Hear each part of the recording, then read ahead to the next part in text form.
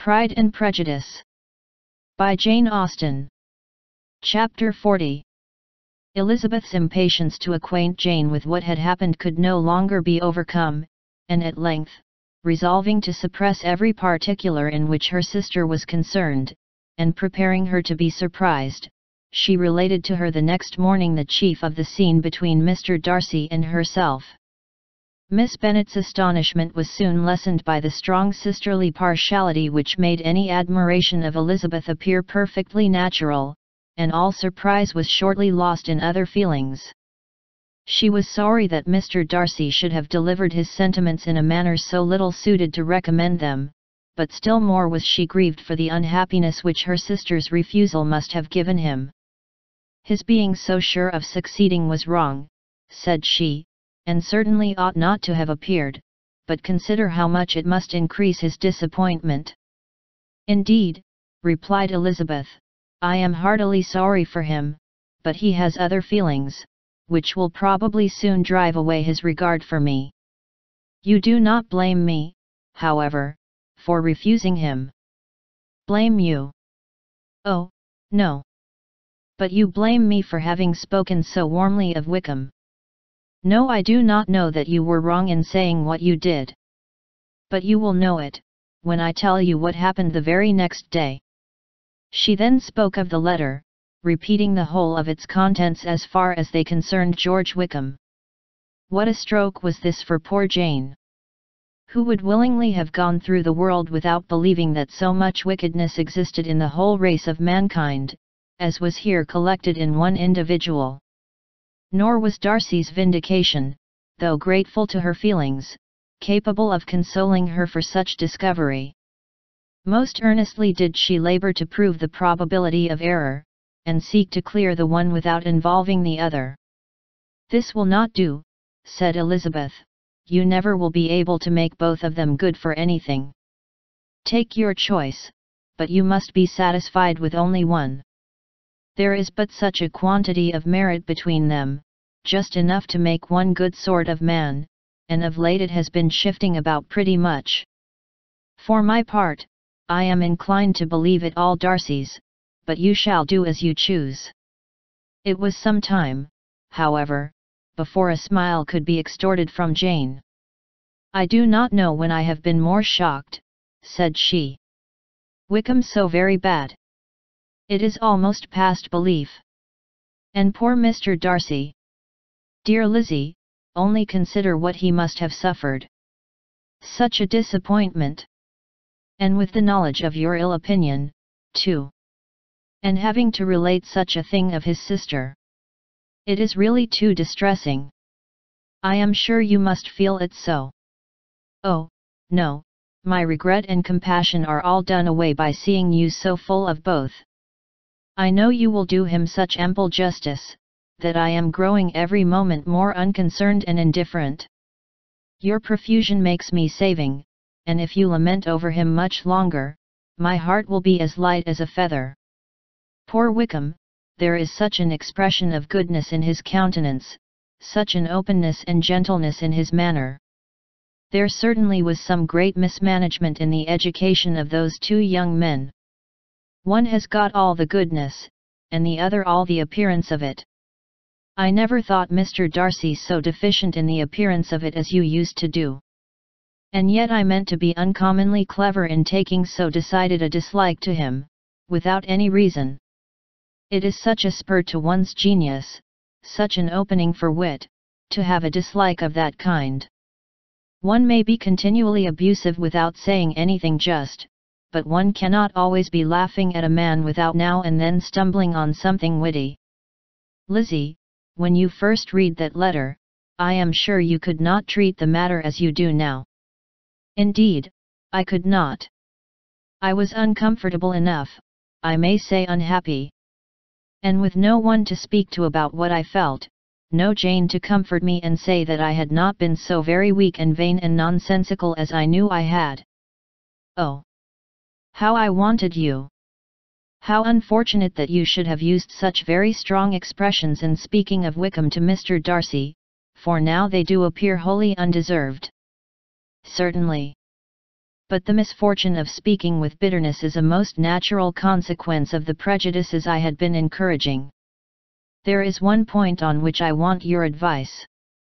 I want to be told whether I ought, or ought not, to make our acquaintances in general understand Wickham's character. Miss Bennet paused a little, and then replied, Surely there can be no occasion for exposing him so dreadfully. What is your opinion? That it ought not to be attempted. Mr. Darcy has not authorized me to make his communication public. On the contrary, every particular relative to his sister was meant to be kept as much as possible to myself, and if I endeavor to undeceive people as to the rest of his conduct, who will believe me? The general prejudice against Mr. Darcy is so violent, that it would be the death of half the good people in Meryton to attempt to place him in an amiable light. I am not equal to it. Wickham will soon be gone, and therefore it will not signify to anyone here what he really is. Some time hence it will be all found out, and then we may laugh at their stupidity in not knowing it before. At present I will say nothing about it. You are quite right.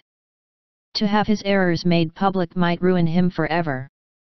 He is now, perhaps, sorry for what he has done, and anxious to re-establish a character. We must not make him desperate. The tumult of Elizabeth's mind was allayed by this conversation. She had got rid of two of the secrets which had weighed on her for a fortnight, and was certain of a willing listener in Jane, whenever she might wish to talk again of either but there was still something lurking behind, of which prudence forbade the disclosure. She dared not relate the other half of Mr. Darcy's letter, nor explain to her sister how sincerely she had been valued by her friend. Here was knowledge in which no one could partake, and she was sensible that nothing less than a perfect understanding between the parties could justify her in throwing off this last encumbrance of mystery. And then, said she, if that very improbable event should ever take place, I shall merely be able to tell what Bingley may tell in a much more agreeable manner himself. The liberty of communication cannot be mine till it has lost all its value. She was now, on being settled at home, at leisure to observe the real state of her sister's spirits. Jane was not happy. She still cherished a very tender affection for Bingley. Having never even fancied herself in love before, her regard had all the warmth of first attachment, and, from her age and disposition, greater steadiness than most first attachments often boast, and so fervently did she value his remembrance, and prefer him to every other man, that all her good sense, and all her attention to the feelings of her friends, were requisite to check the indulgence of those regrets which must have been injurious to her own health and their tranquillity. Well, Lizzie, said Mrs. Bennet one day, what is your opinion now of this sad business of Jane's? For my part, I am determined never to speak of it again to anybody. I told my sister Phillips so the other day. But I cannot find out that Jane saw anything of him in London. Well, he is a very undeserving young man and I do not suppose there's the least chance in the world of her ever getting him now.